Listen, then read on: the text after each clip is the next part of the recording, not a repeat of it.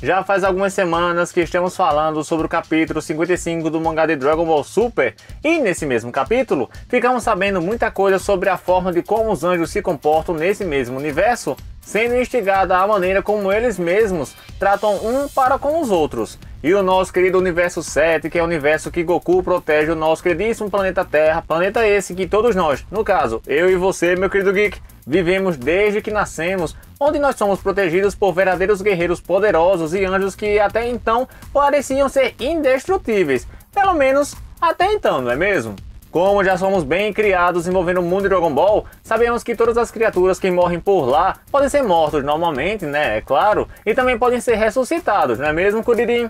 Porém, percebemos que o único empecilho é que nem todos podem matá-los, e isso pode atrapalhar muita gente, incluindo Goku. E no capítulo 55 do mangá de Dragon Ball Super, lá na página 40 desse mesmo capítulo, vimos nosso querido anjinho Whis aparecendo bem lá na frente de Goku e Meros, enquanto essas duas criaturas estavam treinando, resultado de uma conversa que o mesmo teve com Dai Shinkan, que é o nosso poderoso cabelão branco, também conhecido como Sumo Sacerdote, ao falar sobre a passagem de Meros enquanto patrulheiro para conseguir atingir determinada missão.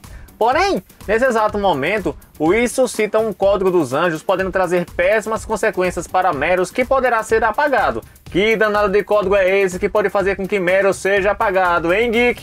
Está curioso para saber um pouco mais sobre isso? Eu sou o Luciano Soares do canal Oi Geek e no vídeo de hoje eu vou falar um pouquinho sobre isso que eu acabei de te falar. Não se inscreveu no nosso canal? Pelo arco-íris dos cabelos Super Saiyajin e não acredito com vocês não. Se inscreva aqui no nosso canal, ative o sininho para não perder nada do que é falado. E município de energia aqui no gostei, estou sempre dizendo. Mande sempre sua energia aqui no like para que possamos fazer mais vídeos Geek Damos e também Geek News aqui no nosso canal Oi Geek, beleza? Como sabemos, nesse capítulo 55, vimos que Moro continua comendo vários planetas em todo o universo 7 e Goku e Vegeta fazem progresso em seus treinamentos. Com o tempo quase acabando, Meros pede a Goku uma última luta antes de retornar à Terra os dois decidem não se conter e começam a emanar todo o poder de ambos e, ao sentirem algo diferente, Whis aparece do lado de fora bem na frente dos dois. Goku fica super surpreso depois que Mero chama Whis de irmão e descobre que ele é na verdade um anjo, enquanto Whis castiga Meros em seu plano de usar toda a sua força na batalha e também para viajar para a Terra para combater aquela cabra velha que no caso está nova, que no caso é o Moro, não é mesmo? Goku então pergunta o que aconteceria se um anjo lutasse e Whis diz a ele que anjos que quebram seu código são erradicados sem deixar rastros, a única maneira de um anjo ser removido da existência. Ao sabermos disso tudo, percebemos que não passava pela cabeça de Goku de que um anjo poderia ser destruído daquela forma. Em alguns tempos atrás, Geek, Vimos que Zenyo é capaz de matar várias coisas, incluindo deuses da destruição, porém, com os anjos, seria outra coisa diferente, não é mesmo? Dai Shinkan, que é o nosso queridíssimo poderoso cabelão branco, é o truta que se encarrega dessas divindades e o Whis confirma que seu mestre é o único capaz de matar os anjos. Lá na página 42 do mesmo capítulo 55 do mangá de Dragon Ball Super, como você já vendo em sua tela, vemos Whis dizendo: Anjos que violam o código são erradicados sem deixar vestígios. E ele encerra dizendo: é a única forma de um anjo deixar de existir. Não há como escapar dessa verdade. Essa é a natureza da forma de vida de um anjo. Ao vermos tudo isso, ficamos pensativos sobre a condição de existência de Meros, já que ele é um anjo em treinamento. Se ele for para a luta, esse fato dele morrer está mais complicado do que uma simples vitória contra aquela cabra velha do Moro.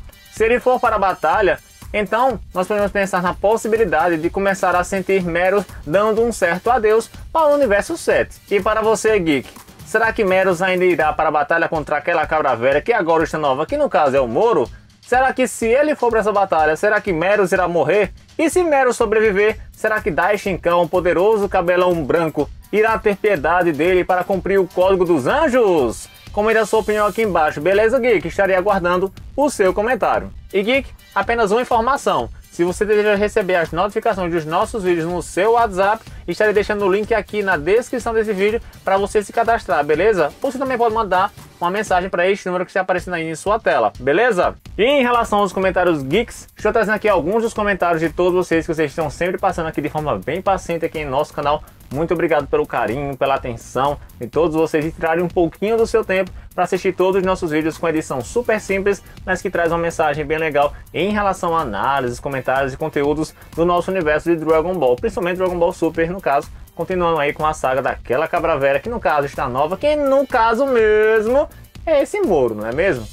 Esse aqui é o nosso último vídeo aqui do ano de 2019, esse ano aqui foi um ano muito mágico, eu só tenho que agradecer a todos vocês, aos espíritos de luz, a Deus, gratidão sempre, é bem legal sempre quando a gente faz algo, reconhece que está bacana e vamos querer melhorar cada vez mais. Nunca procure ser melhor do que ninguém. Sempre procure ser melhor do que você pode ser, melhor do que ontem mesmo. Beleza, Geek? Então, com base nisso, desejo para vocês todos um feliz ano novo, um feliz 2020. Vocês terão novas 366 novas oportunidades de melhorar o seu dia, de tentar ser melhor do que você foi ontem e sempre tente ser feliz por você e não pelos outros. Beleza, Geek? Um abração para todos vocês e feliz 2020. E eu espero que vocês ainda continuem aqui conosco no nosso canal Geek, porque nesse mês de janeiro vamos ter muitas novidades bem legais mesmo. Beleza, Geek?